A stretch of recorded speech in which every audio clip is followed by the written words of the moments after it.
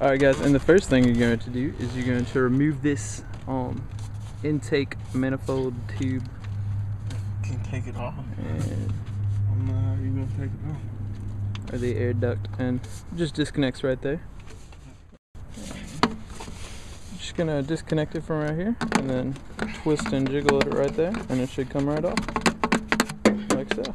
Next thing we're gonna do is we will take off your uh, clutch slave cylinder right here. It's the two bolts down there, the 12 millimeter bolts. thing we're gonna do is remove this little air box here, air box, and starting out here with a 10 millimeter bolt right there. And to remove that air box, there was the one bolt right there. Then there's also that one right there the flashlight is on. And then there's also one right in there, the other one you can see. And then uh, there'll also be a plastic piece that's kind of surrounded around that and you just slip the box out and it'll come off that little nub right there. And the next thing we're going to do is remove this bracket here. It's holding your ground cable and also the um, clutch cylinder fluid line right there. And you're going to see it is uh, one bolt right there and the other on the other side right over there you can see it so once we get off that once we get done with that we'll move on to the next once you've got the two bolts out of that bracket right there holding your line in you're going to take this last bracket off over here for your clutch fluid line and then the um, clutch fluid line will be completely disconnected from the transmission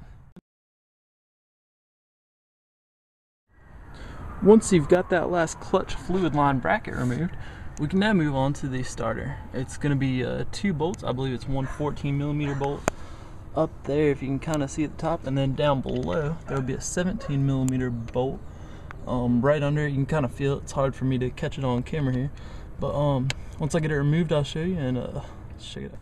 The next thing you're gonna do is remove the two wires from the starter.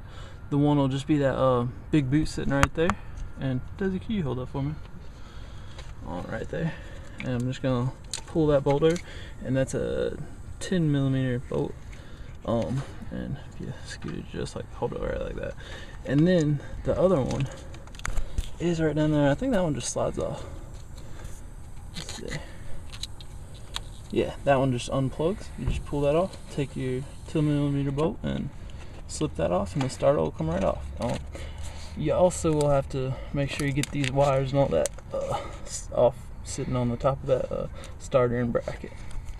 And the next thing we're going to do is uh, make sure we remove all these wires connected uh, to the transmission. Um, obviously, when you drop the transmission, you don't want to uh, pulling any wires and breaking your wires off. So I start out right here with um, this little bracket here holding that reverse light wire in. I'm just going to unplug that and then just uh, work my way around and uh, make sure I get all the wires that are connected um, unhooked and free from the falling transmission so they are safe. Alright, and once you've got all those wires disconnected, we got the one here, which is your backup light, disconnect that. And then we also have a vehicle speed sensor right over there, which you disconnect, just squeeze and pull out. And that's just about it. I do believe I may be leaving something out here, but uh, you should be able to figure it out. So, next thing we're gonna do is take off all the mounting, the transmission mounting bolts, and we're gonna leave just one till we get ready to drop the transmission. And next step will be to lift up the car and start to do all the stuff that we need to do underneath the car.